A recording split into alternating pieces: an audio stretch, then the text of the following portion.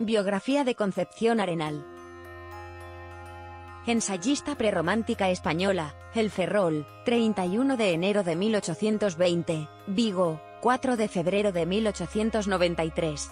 Su nombre completo es Concepción Arenal Ponte. Fue hija de María Concepción Ponte y del sargento mayor Ángel del Arenal, seguidor de Riego que murió en la cárcel por sus ideas liberales.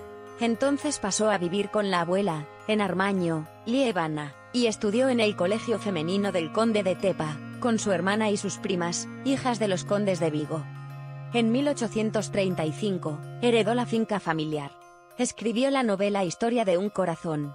Estudió Derecho en Madrid desde 1841. Acudía vestida de hombre a la facultad, donde conoció a Fernando García Carrasco, con quien se casó en 1847 se trasladaron a Oviedo al año siguiente por causa de la afiliación liberal del marido. En la capital asturiana escribió la zarzuela Los hijos de Pelayo al regreso a Madrid colaboró con su marido en la Iberia. Cuando este enfermo de tuberculosis, siguió escribiendo con el nombre de su marido en pro de los derechos femeninos.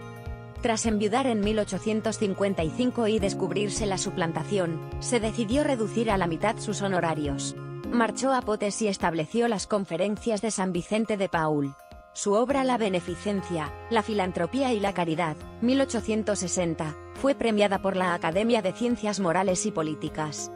En 1863 fue nombrada visitadora de prisiones de mujeres y fundó La Voz de la Caridad, 1870, sobre temas penitenciarios durante la Segunda Guerra Carlista, en la que su hijo Ramón combatía como oficial de caballería del ejército constitucionalista, trabajó en el Hospital de Campaña de Miranda de Ebro.